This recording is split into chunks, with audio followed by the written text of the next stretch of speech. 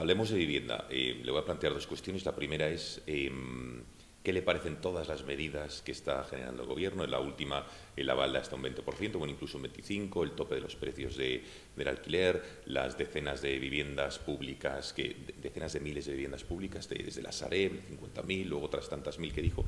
¿Qué le parece el plan de vivienda del gobierno de Pedro Sánchez y por qué cree que ahora está tan empeñado a seis meses de las elecciones y no lo ha hecho los cinco años anteriores. Bueno, que le pregunten a los vecinos de La Palma que después de todo este tiempo ven como 7.000 de ellos no tienen esas soluciones habitacionales que dijo el Gobierno, que es exactamente lo mismo que ha pasado con la sequía y con Doñana.